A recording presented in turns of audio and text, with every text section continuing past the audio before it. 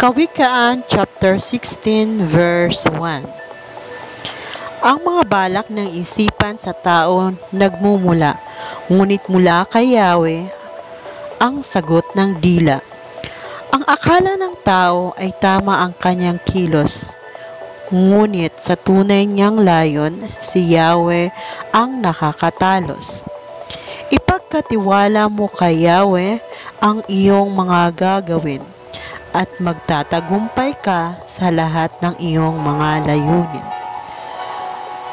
Verse 4 Lahat ng nilalang ni Yahweh ay mayroong kadahilanan at ang masasama, kaparusahan ang kahihinatnan.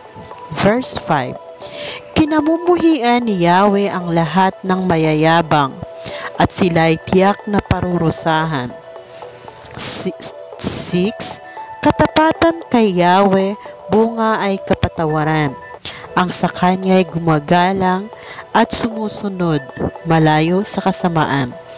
Verse 7, Kung ang buhay ng tao ay kalugod-lugod kay Yahweh, maging ang mga kalaban sa kanya'y makikipagbati. 8.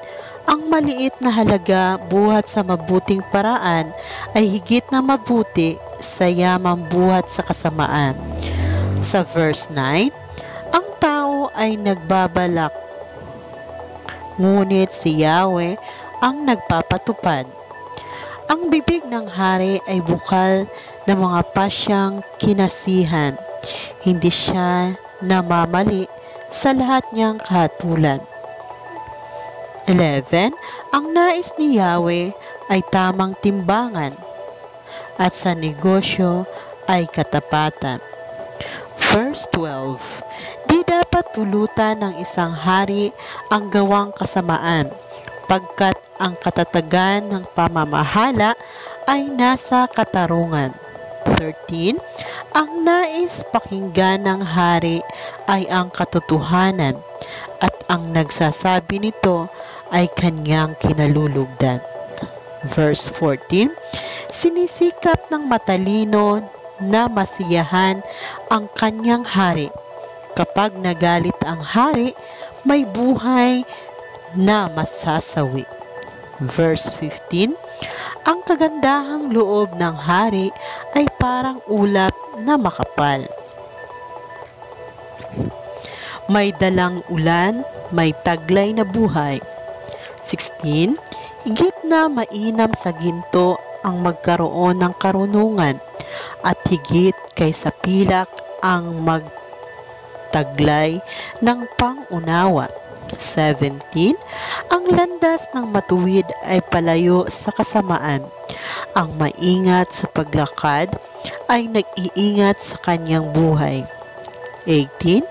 Ang kapalalu ay humahantong sa pagkawasak at ang mapagmataas na isipan ay ibabagsak.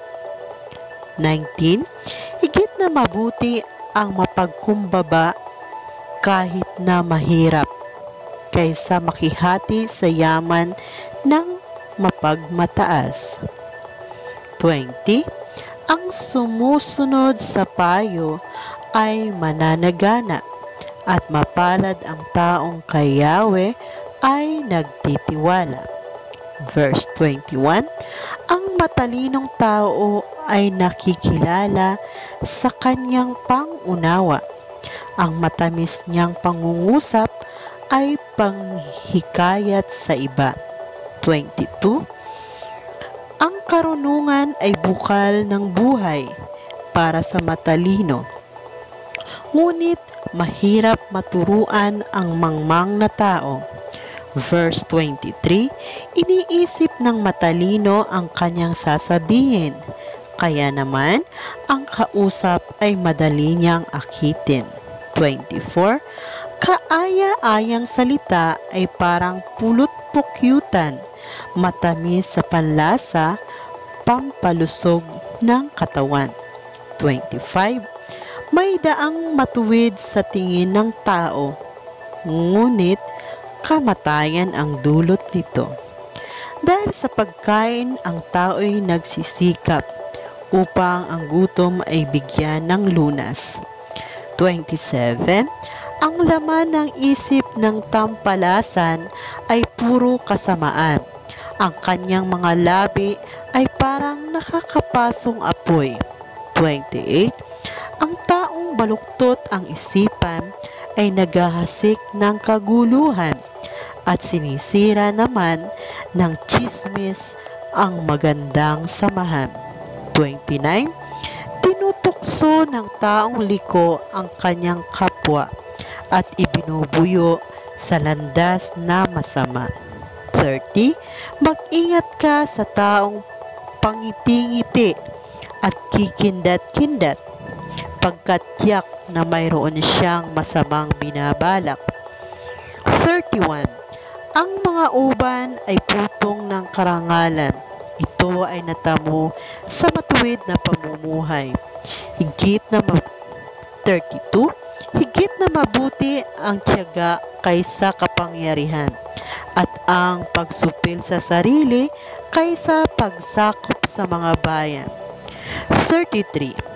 Isinasagawa ng tao ang palabunutan, ngunit si Yahweh lang ang huling kapasyan.